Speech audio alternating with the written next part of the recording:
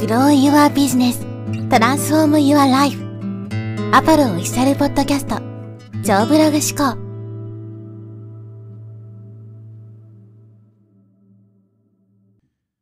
こんにちは、ポロです。今日はですね、顧客満足とクレームの境目というテーマでお話していきます。まあ、最初にですね、僕が日本に行った時に、まあ、添乗員ですね、ツアーコンダクターをやっていた時のですね、ちょっとエピソードをお話したいんですけど、まあ、僕はが添乗していたとあるツアーですね、まあ、すごく安い某大手旅行会社のですね、まあ、格安ツアーにまあ添乗していたんですけど、まあ、そのツアーというのはですね、毎回のようにこうクレームが出ていて、お客さんからですね、まあ、ホテルが悪いだだとか、ね、ご飯がまずいだとか、毎回のようにそういうクレームが出ているツアーだったんですね。まあ、金額は金額なんで、どうしてもホテルのクオリティがね、落ちてしまうってのはしょうがないんですけど、やっぱり旅行会社もですね、お客さん集めないといけないので、やっぱりホテルのね、写真とか、そういったものはすごくいい写真を使ったりするわけですね。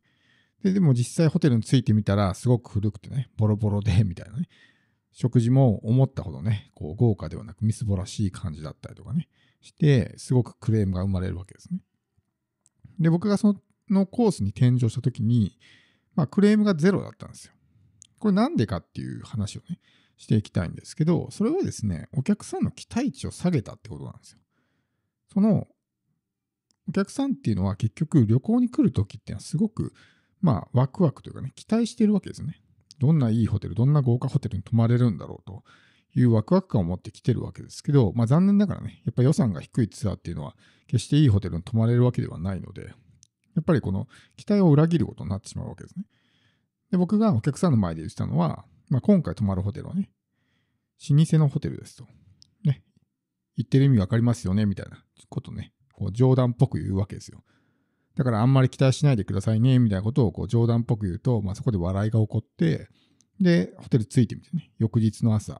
まあ、お客さんと話した時に、ね、添乗員さんが言うほど、そんな悪いホテルじゃなかったわ、みたいな風に言うお客さんが多かったんですね。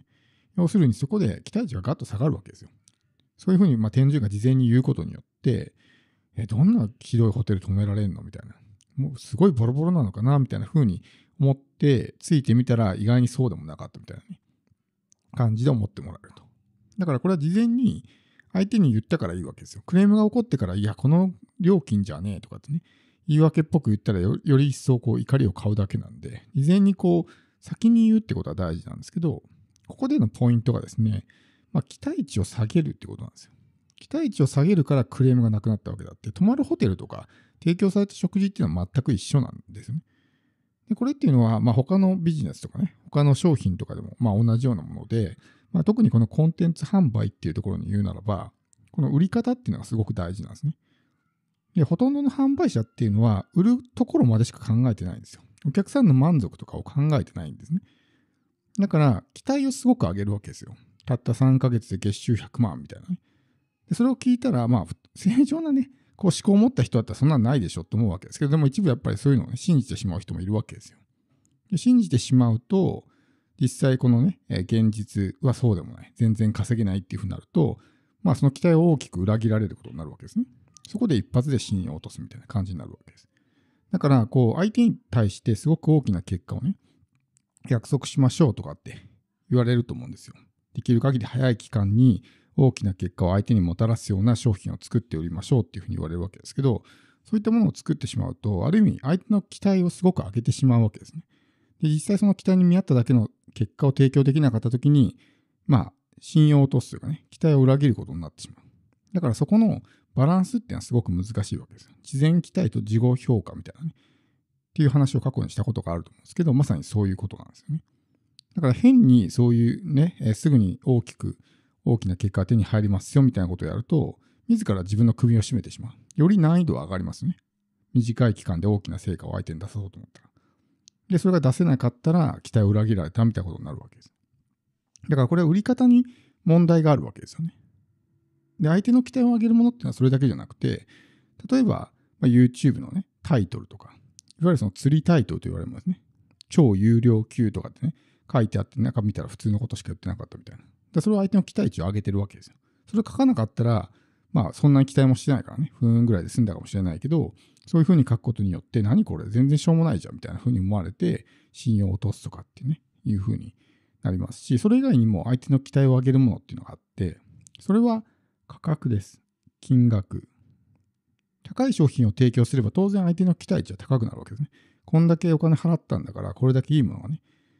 かなりの大きな成果が手に入るんだろうなってすごい期待してるわけですよ。でも実際蓋開けてみたらね、中身がしょうもなかったみたいな。全然欲しい結果が手に入らない。思っていてのよりも10分の1ぐらいのね、結果すら手に入らないってなると、まあ期待を裏切ることになるわけです。なんでこれ期待してるかっていうと、価格が高いからですね。逆にこう価格が低いと、そもそも大して期待してないみたいなね。その辺のチェーン、ね、チェーン店のレストラン行って、なんか豪華料理が出てくるとか、そんな期待してないわけじゃないですか。どうせもうこれぐらいの金額で安いから、まあ、せいぜいこの程度の料理しか出てこないんだろうなっていう気になってるんで、そもそもね、そんなに、まあ、劇的に美味しくなくてもね、特に何何も思わないわけです。だからこの価格っていうところも、相手の期待値を上げる要素になるわけですね。だから自分が決して相手を騙したりとか、ね、そういう粗悪な商品を売ってるつもりがなくても、価格設定を間違えてしまうと、詐欺呼ばわりされる可能性があるわけですよ。商品そのものが良くても、価格がすごい高いと、相手の期待値がぐっと上がるんで。で、それに見合っただけの商品を提供できてないわけだから、期待を大きく裏切って、詐欺師呼ばわりね、されてしまう。ちゃんとした商品を作っていても、そういうふうに思われてしまうっていうのは、まあ、売り方に問題があるからですね。価格設定を変える必要があるということです。やっぱりこの、まあ、ネットビジネスとか、まあ、そういう人たちの売り方を見ていると、まあ、顧客満足よりも、いかにたくさんね、売るかみたいなことを考えてるんじゃないかなっていうふうに思うんですね。もう売ったらその後は知ったこっちゃないみたいな。やっぱこの売った後の満足ってことを考えるんであれば、例えばさっきの価格っていう話がありましたけど、実際の販売価格の倍以上の価値を提供したら、これはもう満足というかね、もしくは感動につながるみたいな。相手の期待値を大きく超えてくるわけだから、そうするとこうね、感動を呼んだりとかするわけですね。でもそうするっていうのはなかなか難しいわけですよ。っていうのは彼らは、こう、売る段階でかなりハードルを上げてるから、それをさらに超えるような結果をもたらすっていうのは難しいわけですね。でもそもそもそんなに期待をしていなければ、それを大きく超えてくることができれば、相手は感動してくれる。ただ、ここの難しいところがですね、例えばコンテンツっていうもの、デジタルコンテンツっていうのは、やっぱりその、金額によって相手の価値の評価のバイアスがかかってしまうってことですね。例えば、ね、100円のコンテンツですって言ったら、このコンテンツはもう100円ぐらいの価値しかないんだっていう目で見てるから、内容がすごく良くてもですね、あんまり価値を感じてもらえない。金額によってバイアスがかかってしまって、で、まあ、せいぜい100円ぐらいのコンテンツだろうとかね、あるいは無料で提供すると、もう無料のコンテンツだからっていう目で見られるんで、そんなに価値を感じてもらえないとか、っていう可能性もあるわけですね。だから YouTube とか Podcast、まあブログとか、そういうところで濃い情報を出す。そもそも最初から相手が、最初から無料だと思ってるようなものに対して高い価値を出すと、時にはね、感動してくれて、あ、無料でこんないい情報をくれるんだって思う場合もあるんですけど、有料の商品、通常有料で売ってるような商品を無料で提供するとかっていう場合は、やっぱりその金額によってね、そういうバイアスをかけられてしまって、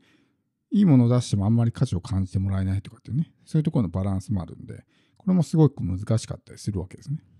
で、やっぱり僕たちが目指すべきところっていうのは、顧客満足とかね、感動っていうところだと思うんですよ。売ってしまって相手の顧客、相手のね、こう期待を裏切ってもいい、信用としてもいいっていうのはね、やっぱ長く続かないと思うんで、そこは本当にね、考えて、もちろん、